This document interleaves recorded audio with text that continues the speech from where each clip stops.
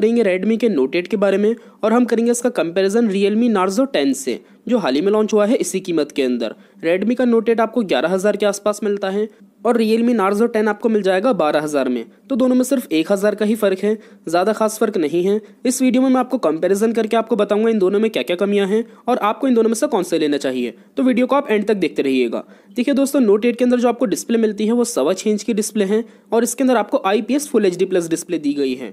तो डिस्प्ले के कलर्स मैं आपको करीब से दिखा देता हूँ। इसके अंदर आपको काफ़ी अच्छे दिए गए हैं। नॉच वाला डिज़ाइन है डिस्प्ले के अंदर।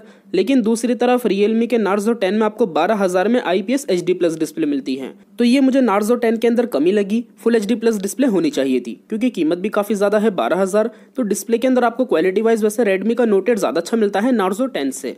इसके अलावा दोस्तों रेडमी के नोट एट के अंदर आपको ग्लास लुक दिया गया है गोरिल्ला ग्लास की प्रोटेक्शन के साथ। तो डिज़ाइन की जो क्वालिटी है, वो इस मोबाइल की काफ़ी अच्छी है। आपको स्क्रैचेस की प्रॉब्लम नहीं मिलती, लेकिन दूसरी तरफ़ नार्जो टेन में आपको प्लास्टिक के टाइप का ही डिज़ाइन मिलता है। हालाँकि उस पर भी आपको स्क्रैचेस की प्रॉब्लम नहीं मिलेगी, लेकिन look wise design note eight का ज़्यादा अच्छा लगता है। नोट एट में भी आपको पीछे की तरफ़ चार कैमरे दिए गए हैं रियलमी नार्जो टेन में भी पीछे चार कैमरे मिलते हैं, और दोनों में ही आपको पहला कैमरा अड़तालीस मेगा का मिलता है। कैमरे में ये भी ठीक है, और नार्जो टेन भी आपको काफ़ी अच्छा ही मिलता है। लेफ़्ट साइड पर इसमें भी सिम की ट्रे दी गई है और उसके अंदर भी आप दो सिम कार्ड एक मेमोरी कार्ड तीनों चीज़ एक साथ लगा सकते हैं रेडमी के नोट एट में भी।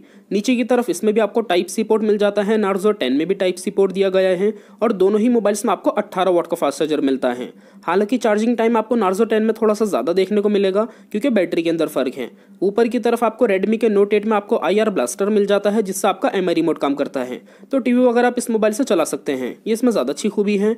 लेकिन दोस्तों रेडमी के नोट एट में आपको ग्यारह में मिलती है चार जी की रैम चौंसठ जी की इंटरनल स्टोरेज लेकिन रियलमी नार्जो टेन में आपको दी गई है बारह हज़ार में चार जी की रैम एक सौ अट्ठाईस जी की इंटरनल स्टोरेज तो स्टोरेज आपको नार्जो टेन में ज़्यादा अच्छी मिल जाती है नोट एट से, और हालाँकि कीमत में भी ज़्यादा खास फ़र्क नहीं है तो ये चीज़ नार्जो टेन की ज़्यादा अच्छी है। इसके अलावा दोस्तों बात करें प्रोसेसर के बारे में तो इसके अंदर आपको मिलता है स्नैपड्रैगन सिक्स प्रोसेसर और Realme Narzo 10 के अंदर आपको मिलता है मीडिया का जी प्रोसेसर अगर आप एक हैवी यूज़र हैं तो वैसे दोनों मोबाइल्स में आपको बिल्कुल भी प्रॉब्लम नहीं होगी, लेकिन नार्जो 10 आपके लिए ज़्यादा अच्छा रहेगा अगर आपको खास तौर से पबजी खेलने के लिए मोबाइल लेना है। उसके अंदर आपको ज़्यादा बेटर प्रोसेसर मिल जाता है रेडमी के नोट एट से।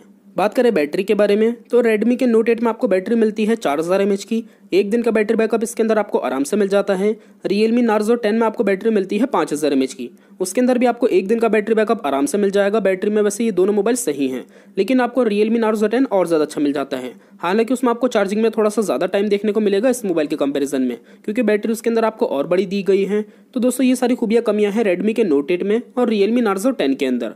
चलिए बात कर लेते हैं। सबसे मेन चीज़ आपको इन दोनों में से कौन से लेना चाहिए? तो देखिए, अगर आपके लिए मैटर करता है मोबाइल का कैमरा तो आप दोनों में से कोई से भी ले सकते हैं। दोनों मोबाइल्स के अंदर आपको नॉर्मल परफॉर्मेंस मिल जाती है कैमरे को लेकर। लेकिन दोस्तों कैमरे के अलावा अगर आपकी मेन ज़रूरत है मोबाइल के डिज़ाइन की, आपको डिज़ाइन अच्छा चाहिए तो आप नोटेड खरीदिएगा। यही मोबाइल आपके लिए ज़्यादा अच्छा रहेगा। और अगर आपके लिए मैटर करती है मोबाइल की डिस्प्ले तो भी आप रेडमी का नोटेड खरीदिएगा। ये मोबाइल आपके लिए ज़्यादा बेटर रहेगा। लेकिन दोस्तों, अगर आपके लिए मैटर करता है मोबाइल का प्रोसेसर आप एक हैवी यूज़र हैं तो आप रियलमी नार्जो टेन लीजिएगा, वो मोबाइल इससे और ज़्यादा बेटर रहेगा। इसके अलावा अगर आपके लिए मैटर करती है मोबाइल की स्टोरेज तो वो भी आपको नार्जो टेन में ज़्यादा अच्छी मिल जाती है नोट एट से। आप नार्जो टेन खरीदिएगा। आखिर में दोस्तों, अगर आपके लिए मैटर करती है मोबाइल की बैटरी तो वो भी आपको नार्जो टेन में ज़्यादा अच्छी मिल जाती है। अच्छी बैटरी के लिए आप नार्जो टेन ले सकते हैं। नोट एट से वो ज़्यादा अच्छा रहेगा। तो दोस्तों, देखा जाए तो नोट एट के अंदर आपको दो चीज़ अच्छी मिलती हैं, कैमरे के अलावा, क्योंकि कैमरे में दोनों सही हैं। एक तो इसका डिज़ाइन अच्छा है, दूसरा इसकी डिस्प्ले अच्छी है, क्योंकि इसमें आपको फुल एचडी प्लस डिस्प्ले दी गई है।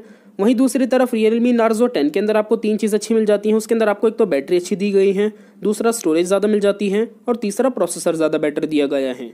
तो अगर आपके लिए नोटेट की खूबियाँ मैटर करती हैं तो आप ये मोबाइल ले सकते हैं, और अगर आपकी ज़रूरत की चीज़ नार्जो टेन में है तो आप वो मोबाइल ले सकते हैं।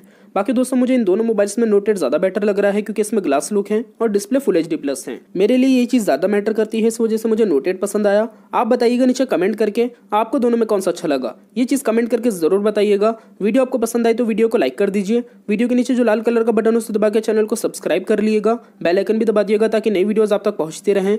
इसके अलावा वीडियो अगर आपको हेल्पफुल लगी तो दोस्तों के साथ शेयर कर दिएगा व्हाट्सएप फेसबुक पे। मिलते हैं अगली वीडियो में, तब तक के लिए टेक केयर बाय बाय